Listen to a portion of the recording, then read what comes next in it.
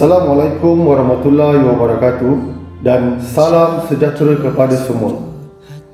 Okay, hari ini saya ingin menunjukkan cara-cara untuk minum sumak yang sangat berkhasiat dan boleh menjadi penawar dengan izin Allah untuk menjaga jantung kita, kolesterol dalam badan kita, buah pinggang dan bermacam lagi.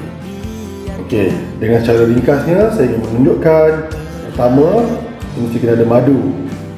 Okey, madu yang asli. Kedua, dia kena ada limau nipis ataupun limau selainnya. Ketiga, kita kena ada air suam. Keempat, kita kena ada cawan dan sudu plastik. Okey. Okey, saya akan mulakan yang pertama. Kita ambil sumak. Kita buka pack dia. Okey, kita ambil satu sudu. Kemudian kita masukkan ke dalam cawan dan kita ambil satu sudu madu. Okey. Ambil satu sudu madu. Kita letakkan di sudu lebih mudah lagi. Okey. Ambil satu sudu madu, nampak madu yang baik, madu asli. Ha, orang pekat, ikat. Ha. Okey, ambil satu sudu madu, kemudian letak di dalam cawan. Okey. Letak di dalam cawan. Dan kita ambil air suam. Okey, kemudian masukkan di dalam cawan. Okey.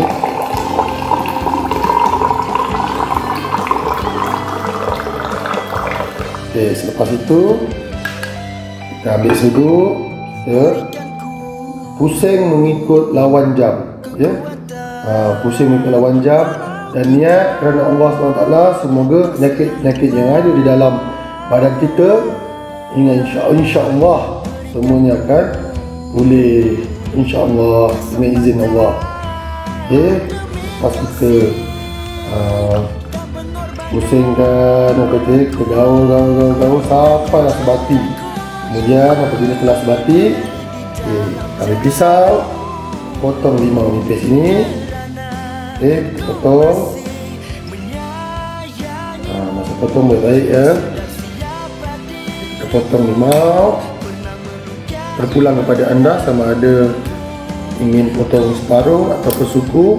Ha, okay, selepas kita ambil limau ni kita perahkan dia okay.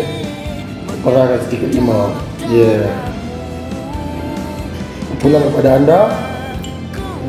Uh,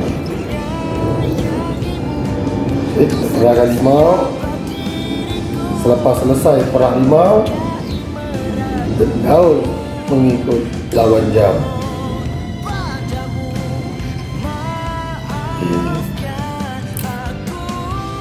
Setelah selesai semua gaul okay, gaul kita lihat airnya sangat baik.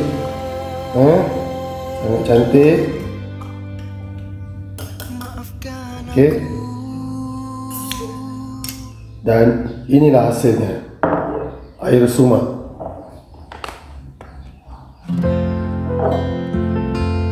terbaik. Sangat sedap. Okey. So mari kita mencuba bersama-sama sumak pastikan ada di rumah anda. Satu setiap rumah sumak pilihan terbaik